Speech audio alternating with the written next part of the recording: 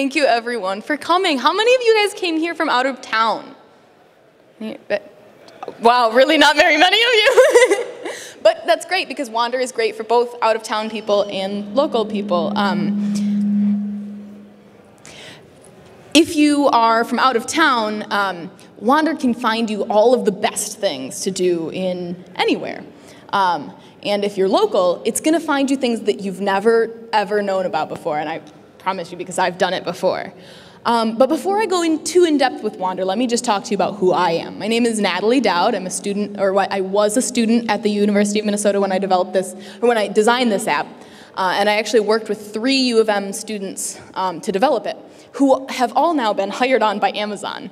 Um, our app won the University of Minnesota's app contest, and we've been working pretty constantly for the past two years to get it out in the App Store, and I am very pleased to tell you that you can take your 99 pennies and turn those into an adventure or 20. Because when you wander, you discover things. And so the first thing that you're going to do um, when you open up the app is it's going to give you an adventure right here. And I apologize because the colors are going to be a little bit weird on this screen. But um, if you go to the App Store and download Wander Wheel, uh, you can try it out on your own too. Um, but what happens is you'll find um, that first it's going to tell you to go to, um, you know, it's going to give you a route. And the first one on our itinerary is Darby's Pub and Grill. Um, and, you know, I'll say my next route is Pizza Luce. Well, those, you know, may, maybe I'm actually not so interested in, um, you know, maybe I've got a bigger budget than that. And um, philosophically, Wander only goes to $50 because we all know that you can have a lot of fun with a lot of money, but Wander is not about that. Wander is about having a lot of fun on your own. And so the most I can say is I have $50. I'm gonna walk there um, and I'll say, you know, I don't really need coffee, but I'm gonna get drinks. And you adjust all of your preferences. And now the one, this is the part that you're going to change depending on whether you live in the place where you're wandering or whether you're from out of town. And so if you're from out of town, or you know, anyone can, can choose either one, but if you're from out of town, you're going to pick the local highlights. Sorry, that's this one.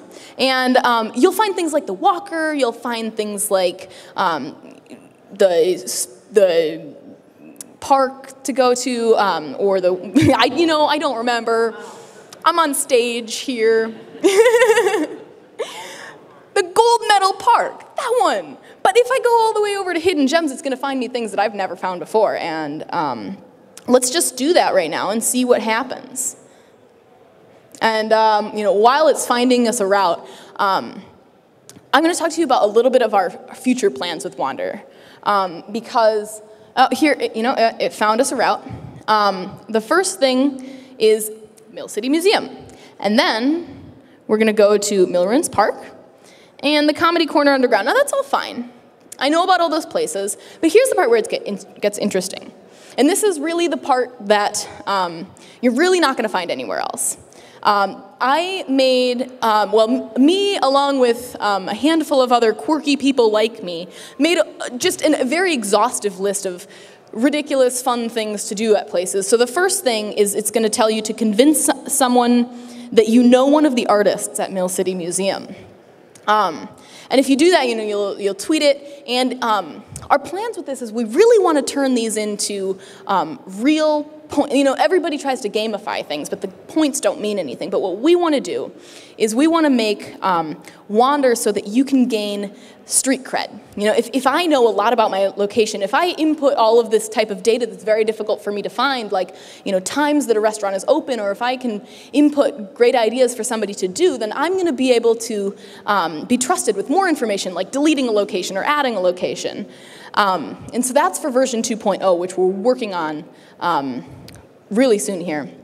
And you know, you'll get an adventure like find a puddle and look at it for one minute. You know, they're not necessarily things you have to do, but the whole point of Wander is to get you out of your bubble, to get you something to do, and to really just take advantage of those moments where you're hesitant, you're just completely paralyzed with indecision.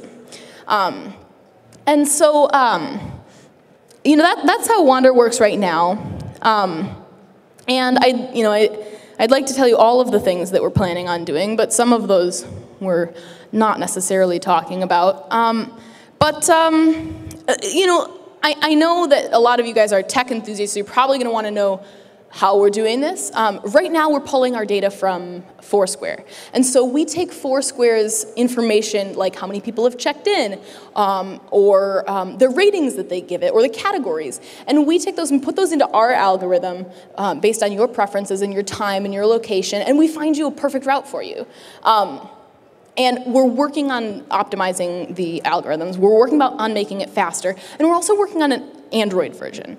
I know I've had a lot of people out there tell me, like, this sucks, it's only on iPhone.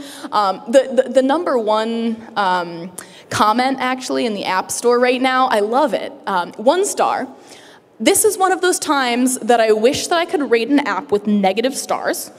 Um, all it did was find me uh, a Walgreens, a $5 store, which how many of us have gone to a $5 store? That sounds pretty cool. And a theater. That's not an adventure, that's my life. well, clearly some of us can't have an adventure if it's forced on our throats. But, you know, the great thing about Wander is you don't actually have to do all of the things that it tells you to do. The whole point is to be like a starting point so that after you do this, you say, hey, you know, maybe I will like go eh, stack a bunch of leaves. I don't know why, but I just wanted to add some spark of fun into everybody's life, and I really hope to be able to continue doing it for a lot longer. All of my developers have now been hired on by Amazon, as I've said, so we are looking for iOS developers, and we're also looking for funding for version 2.0.